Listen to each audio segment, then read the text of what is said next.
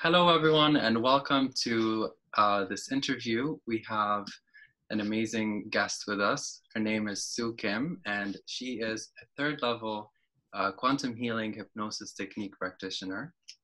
Thank you, Soo, for joining us on this interview today. Hello, yeah. Nice to have you with us. So, on today's um, interview, we're going to be discussing three topics. The first is hypnosis. The second is quantum healing hypnosis technique and how is it different than regular hypnosis. And the third is how to use hypnosis for therapy. So I would like for you, Soo, to start with explaining to us what is hypnosis? Well, hypnosis are like through the um, changing the brain cycles from beta to alpha or theta and then we can access the subconscious. And in QHHT, we call it quantum healing hypnosis technique. So we are accessing the quantum field. So that's different ways of doing it. In, in the modern world, all kinds of different hypnosis are available. So basically through the hypnosis, we access the subconscious informations. So it's as if we're peeling the brain and trying to understand what's hiding on underneath the surface. Is that what you mean by when you refer to as the subconscious? Yes, because we have all kinds of information stored in us, right? And we are only using what they say 5% of our brain power. Mm-hmm. However, about 95% is really untapped.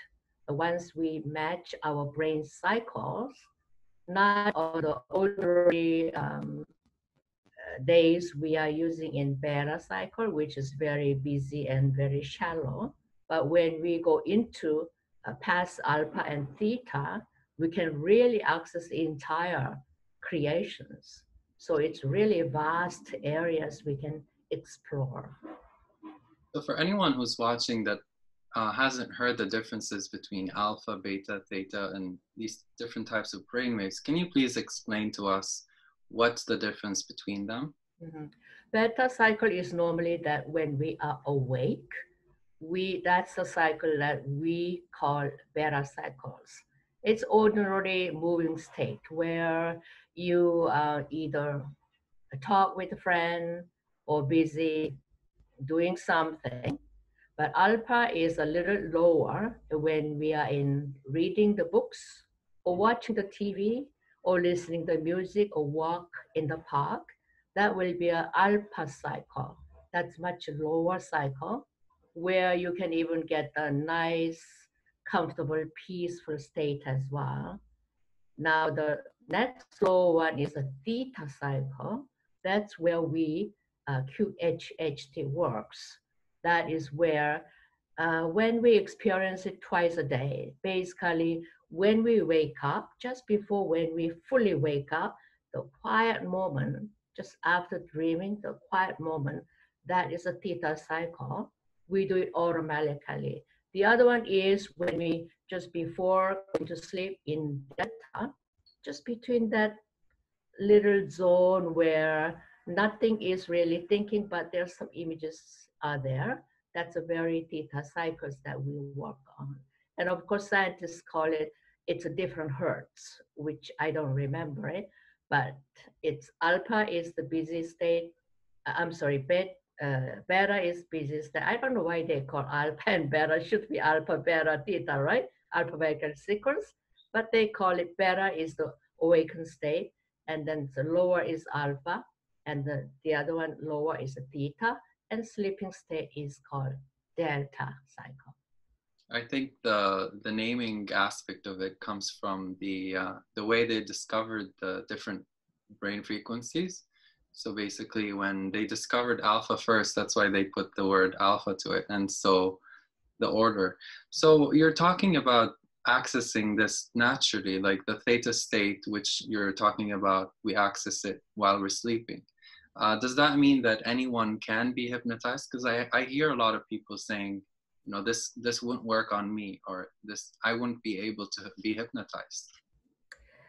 Everybody can be hypnotized, and actually, we are all hypnotized most of the time. So that what's a really um, dividing part where people cannot go into hypnotizing state or not is because simply the person is controlling the state where they really have an ego centered and control the state where I want to be this way, that way, that way, then the person really cannot access the beautiful the state where we can access all the informations and healings. So it is vitally important that we let go of the expectations and controlling our ego mind. Just let it open and then you can easily can go down to the theta cycle, absolutely no problem. It is totally 99% it up to the individual who let go or not go, and then whether they can have a great hypnosis session or not. Anybody can be all hypnotized. That's it's just ego controlling is the prevention stuff. So everyone basically is in control of the session the entire time, and there's no uh, inferiority or uh, suppression from the hypnotist. It's the person themselves is who contributes. Yeah, person themselves is the controlling one. If they let go and receive an entire thing with a trust and open heart, then everything works. They all go nicely and beautifully into hypnosis and acquire healings, as well as all this universal information that's available to every one of us. That's good to know. Um, so you're talking about everyone is able to access the state. How long would it take for um, a regular person to access it in a quantum healing hypnosis technique format?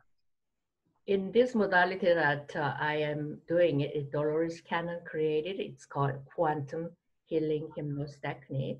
It takes maybe just maybe five ten minutes in the beginning we just relax them and then it's so too easy uh, when the smart people normally say this is way too easy it's not something is wrong right but however it's too simple and too easy just if you just relax and follow the facilitator or practitioners and follow with it and then engage in then within five ten minutes anybody can go into this beautiful state.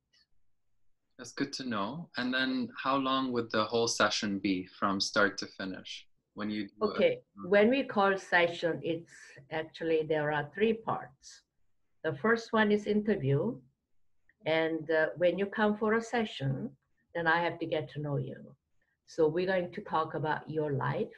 Uh-huh. So that's gonna take about good two hours minimum and it depends it could be two or three hours however long it takes mm-hmm. because we need to talk and i need to know about you so that when i meet your higher self then i can ask quality questions right so that's called interview and then of course it's very open conversation with the confidentiality. So therefore once you're open to the practitioner we really get into uh, knowing you very much in detail. And because uh, everybody has issues right?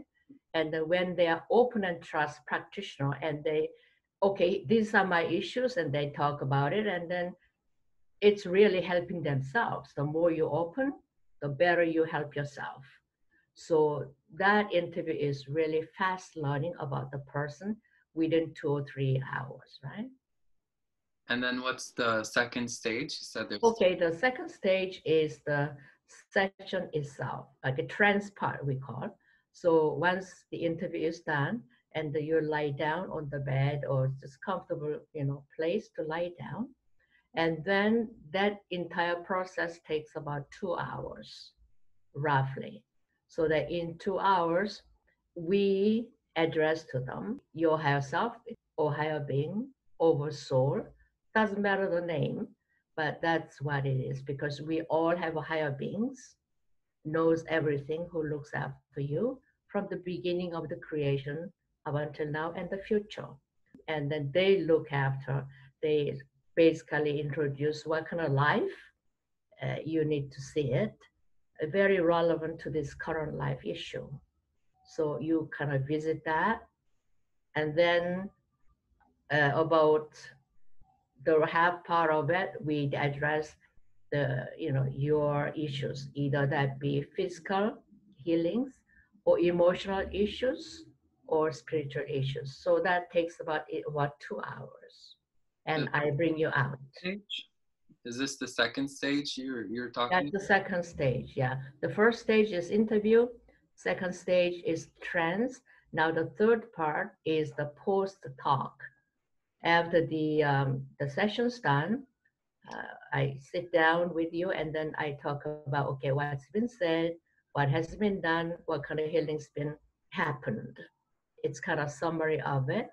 Mm-hmm. So that takes about half an hour, maybe an hour. So that's how it works. So there are three parts. And you're talking about uh, a therapy here. What kind of healing is expected from a hypnosis? Oh. Hypnosis session. Okay. Um, any any kind of healings that's required, either physical, emotional, spiritual, any kind of issues that you require, and you have staff is cooperating with you, providing you are willing and open, of course. When you interrupt, your conscious mind say, hey, hey no, no, that sounds uh, foolish, whatever, then it's not going to work. So when you cooperate with your higher self, of course, all kinds of things are accomplished. So you uh, can you give us examples of um, emotional healing that has come up for someone in, in, in your sessions? Uh, there are so many of them because we are emotional being as well. So everybody has emotional issues, right? So yeah. say for example, a person was very depressed. This uh, this lady was very depressed because she was being used by her family. In other words, she was really giving too much to her family. And that whatever earnings she had, she sort of supports them. And it was like a never ending kind of thing. So, of, of course, yes. she is in 30 something and she's very depressed now because her biological uh, clock is ticking because now it's about late 30s so that she's thinking okay how many more years than now uh, can i have a you know childbearing time and now she doesn't even have a boyfriend to marry. So now she's just busy working and supporting family right? So she's depressed absolutely. So now we find out through through the session through the trance her herself showed a life whereas before she was very strong willpower woman and she knows what she wants when she, you know, negotiate the business, she was just saying, okay, this is the way it is, it has to be done, and no, no putting down. And her value is very strong. That was like a couple of hundred years ago. She visited that life and she was very successful. She outspoken everything and then strong woman, right? Mm-hmm. So from that life that she reviewed, her higher self showed that now, that time, she was very strong. She voiced out what she feels for, what's correct. But this life, she subsided. She pressed it down. Uh, she wanted to be a good girl uh, according to the social conditioning. Yeah. So she, her voice was totally gone. That was the reason of depression. So higher self shows that now you have to speak out whatever you want to talk about it to your family or whoever that is. And that was the solution in a word. But there are all the other things were accomplished accordingly in that session. So, in, in other words, um, or another question would be would the healing actually be completed during the session, or is there any follow up that has to be done by the practitioner. Sorry. During the during the session, the healing can be uh, was accomplished. One uh, one lady comes to my mind. She had a fibromyalgia, which is uh, you know pains all over her muscles, all over her body. And then this one was because the in the past life, eh, she was she lost a lot of things. She worked hard Mhm. in farming, everything. She worked very, very hard, and because some reason she lost everything at that life. So in this life, when she met a good man, she really loves this man, but all of a sudden she has this fibromyalgia was all over. She could not really enjoy the uh, the relationship. Mhm. So reason was that back then, because she lost that she loved, right? And in this life, now that she loves this man, she has a fear carried from last life that okay, now I love this man. I what about I she has a fears of losing him. So in so doing it, preventing herself caused the fibromyalgia thing. So during the session, she was willing to accept the healing and her higher self healed all of it. In fact, what happened was that she vomited during the session. She had a nausea, she vomited, she went to the toilet a few times, she threw up. And that's what it happens is that actual healing is occurring, the, all the toxins are moving out from the body, right? So that uh, her higher self told her that I think sh- it was about 98% was healed, but a couple more days, it will be completely healed. And she emailed me saying that, so it, it's all gone. I have no more fibromyalgia. So Wow. at the session itself, she was already healed 98% and took another couple of days, totally gone. Well, that sounds very profound, like the idea of Mhm. someone dealing with a problem, sometimes going to doctors trying to resolve it and not being able to, but in one session finding the root cause of it. Um, however, you know, I can hear the critics already talking about what do you mean by past life? Um, what if someone doesn't believe in a past life? How would they work with their belief in a hypnosis session? This one, uh, you don't have to believe in anything. Uh, you don't have to believe in past life or you don't have to believe in God, nothing. It has nothing to do with it. It has nothing to do with the religions or your belief systems. It works for everybody because we are a soul, the piece of, uh, you know, the, the source itself. We are all created that way. Regardless whether you believe it or not, it's all there anyway we live uh, like a hundred times, millions times throughout eons of these creations. So in this lifetime, because maybe the, it's blocked, so understanding isn't there, so that's fine. However, this modality doesn't have any effect on anything. You don't have to believe in anything. The atheist even has a great sessions. Oh, wow. So you've had experiences with people who are. Yeah, the guy said, I don't believe in God. Prove me. Yeah, that's okay, no problem. I mean, you know, but then, you know, his higher self says, uh, he, you know, his higher self was very humorous. Well, he thinks that he doesn't believe in God, but he does, you know, all kinds of things, right? So this was very amazing. Doesn't matter what you believe in or not. It's interesting how the what you're explaining the higher self. It sounds like it's just a more uh, deeper understanding of um, of yourself from within. Is that Oh, what, what's referred to as the higher self?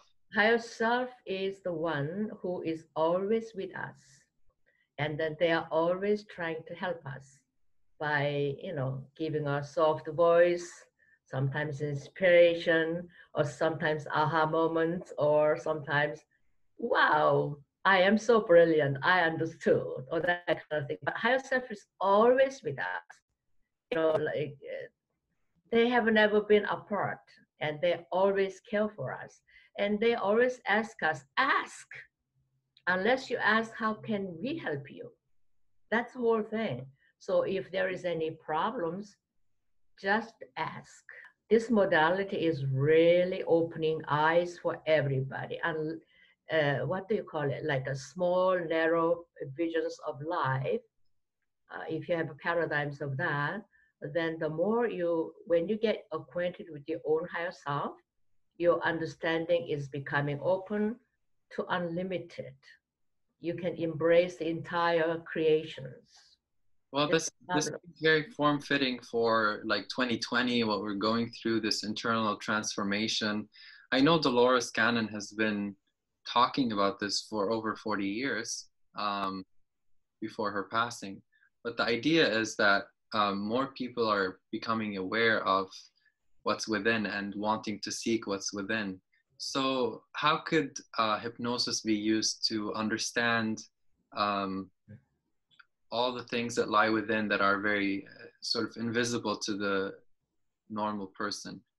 Does, hypno- does hypnosis help in other ways other than healing and past life regression? Absolutely, because this modality uh, is very spiritual. Like you, uh, not only physical and emotional part, but we are spiritual being, and this modality really opens the spirituality. And the person doesn't believe in God, understands what the God is, or Creator is, or the source is, once they experience it, and then their understanding is really there in spirituality where why we are here? What's this all about? Main core of spirituality this qhht really focuses it and touches it. So whoever wants to improve like especially nowadays this what we are going through pandemic it's a great time where we really go within, inside, and then ask about what are we? Why are we here? What is a life purpose? Why I am working so hard for what? All these questions. You can even you get all this understanding in one session because you get to know the main core of spirituality. We so, are here for a while, we go, right? but we get to understand why this brief time we are here. And I think that's very important uh, nowadays is to take a step back and uh, observe what's happening to our lives in order for us to understand the meaning of what's happening and then help us move into a different trajectory. Mm-hmm. Um, so just so people have a better understanding, you were talking about one session. Um, do you have people come for more than one session or how? Yes, yes, there are some people who comes more than one session because at Dolores' time, she was too busy and that there was so many years of waiting lines. That's why one session was sufficing. However, nowadays, there are practitioners all over the world and helping people to understand. So therefore, we have leisure and some people could come more often. And then I would normally uh, say maybe six months later or year later. And then I have a few people who come here and there because life changes all the time, right? And when you come first time, that is kind of uh, breaking the ground, kind of. You have so many questions on all kinds of uh, areas. But once we deal with that, and then there are other questions. Oh, what about that? What about that? So yes, no problem. And they can always come and then delve into more of what you really are. It's a great, great practice. And uh, for some people, um, they hear hypnosis and their mind completely goes to uh, street magic and being taken control over and all of that. Um, what would you say to people who think that hypnosis is a dangerous uh, technique that exposes some people think that it exposes um, them to things that they they shouldn't be exposed to well there are those kind of uh, a lot of movies and then also a lot of people who entertains this kind of uh, uh another form of hypnosis they use it for entertainment purpose. However, uh, this QHHT, it, we don't use any magic. It is very simple, easy relaxations, and then exploring your inner world. So therefore, there is no, and our practitioners, our duty is always looking after your safety when you are in, in the session. And that's priority for us to look after the safety of it. And uh, so therefore, that, that's a lack of understanding, uh, basically, because the entertainment world creates such a thing. So people think maybe that's what it was, but actuality is not. We are very sincere and very serious practitioners who want to help people. And there's no magic tricks, no such things. And experience yourself uh, or find the person who's done it and ask them what that is like. And you, you can start from there. That's lovely to hear. So it's not as uh, dangerous as some people. Not at all, because our priority, as I said, is uh, keeping the people's safety is always our optimal. That's why Dolores doesn't want us to do any sessions over the phone or the Skype or any electronical way. It only has to be in person because during so many hours, uh, she doesn't want to risk anybody, which I totally can understand because some people, I had one, more than one actually, I one person comes to my mind is that young man came in. He had all kinds of uh, you know these uh, toxicities all over his body and bumps all over his bodies, right? So anyway, um, his um, higher self uh, Uh, came in, and then they were healing. Of course, his body was moving all over the place, right? Interestingly, his body was sitting on the right bed. And of course, I am observing it because it's my duty to see he's safe. So he was, his body was moving all over the place and healing was done extremely deep way. And then actually the, the bed that I was using actually moved around from one, one side to all the way to the corner of it. So I literally have to follow with my recorder all the way to the wall to prevent him to hitting right? And so that when when I saw that, I could totally understand why Dolores doesn't want that over the phone or the Skype, because who knows, right? What about electricity goes out? Then what? You don't hear, and the person is on hypnosis, and what to do? And that is really risky thing. And also the person over the other end going through like this physical transformations and you are not there, then what happens? That, yeah, it becomes harder to witness when it's. Oh, that's, yeah. So right. once, we, yeah, in the beginning, the very beginning when I was learning, I thought, well, you know, everybody's using online Skype. What is the problem? But when I went through actual thing, I totally understood. Okay, Dolores, I understand, right? So it's in person only in our practice.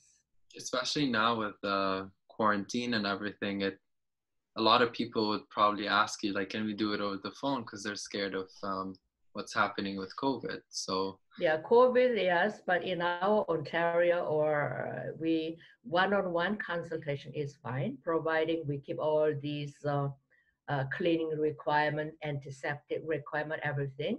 One-on-one session has been uh, uh, okayed since May 19, I believe, this year. So we are fine one-on-one. That's good to know. Mm-hmm. and um, I, I noticed that you um, you have your own website and that you post uh, some stories that you have from the sessions that you do.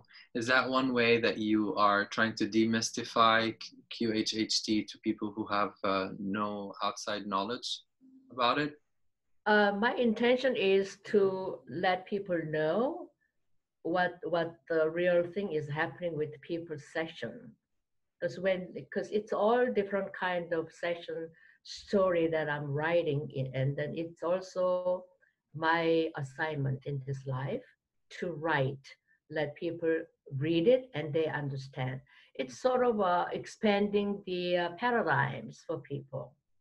Uh, we, we know one thing, but however, when I post stories on here, say for example, today's posting was burst out.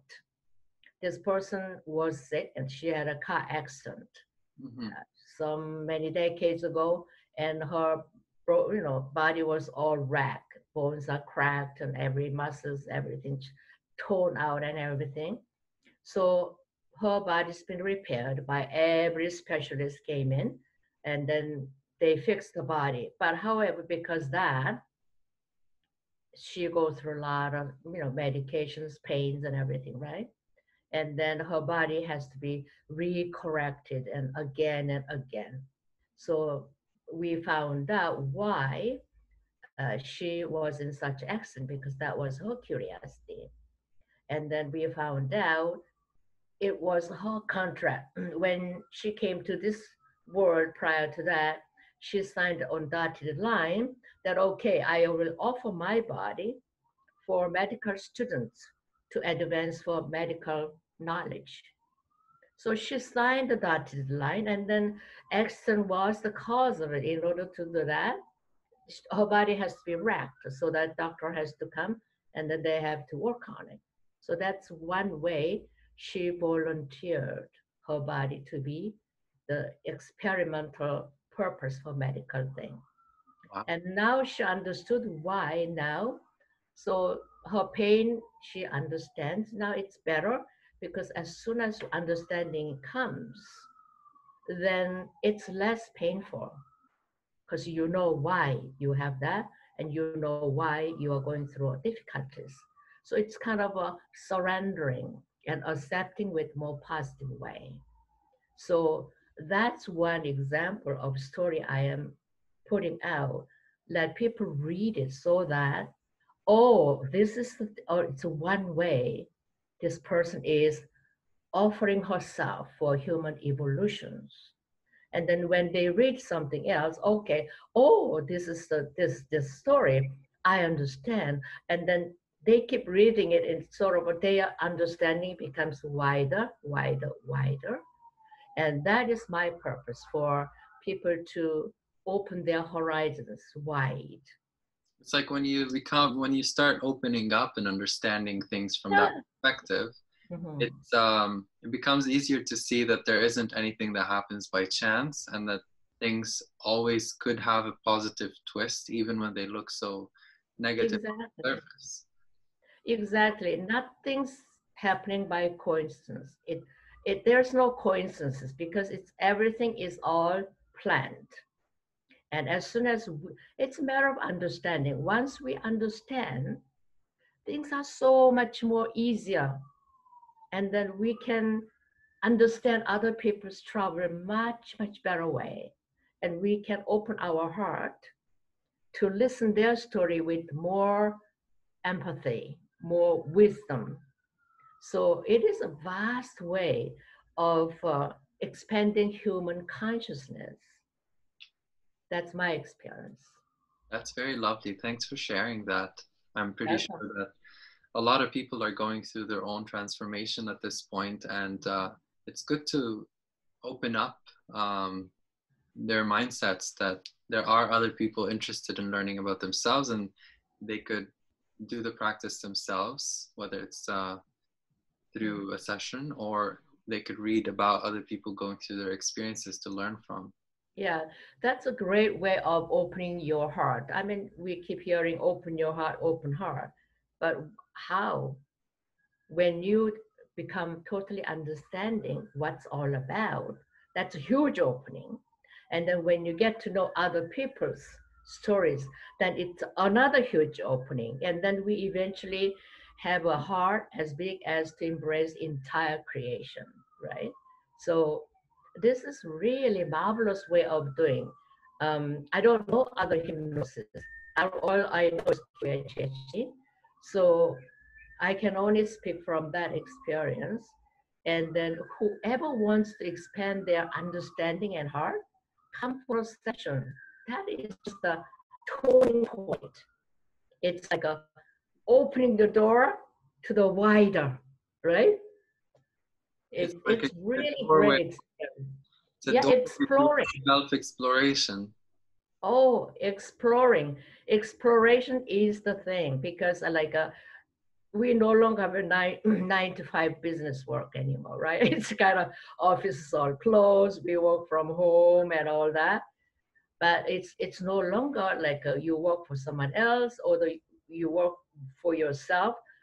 Once you understand why we are working for that and why we are having trouble with the people who work together, why we have a trouble with our family member Mhm. or friends. Once we pay attention, because once you have a session, first of all, you get to understand, oh, that's what it was. Then you can pay attention to other people's problem with more uh, deeper way. When someone complains about it, instead of she's always complaining, it's not anymore. Okay, why is it? You pay attention to that. And then you start to hear deeply what the person is trying to say. Mm-hmm. And then you get to understand, okay, mostly it boils all down lack of love, that nobody loves the person. That is the main issue, actually, right? When there is love, people can endure lack of finances or lack of something. But as long as the love isn't there, no matter how much money we have, we are always lonely. And uh, but once we have love, that you doesn't have to have a person to love, but once you love yourself, you end up loving anything around you, everybody around you, because you are me, I am you, right? Kind of I ident- identify with everybody with me. Oh, her problem, yeah, her problem is my problem. What about his problem? Yeah, he's got that. Oh, he's got same problem that I have. We can kind of uh, associate with that, and then of course, once it's my problem, then of course we become more understanding and more loving, right? So it's a huge. Yeah. thanks for sharing. This sounds very uh, forward thinking. It's like the future of humanity. In a Absolutely. we are we are going to that. that's the evolution. Thanks for sharing. That was very um, insightful.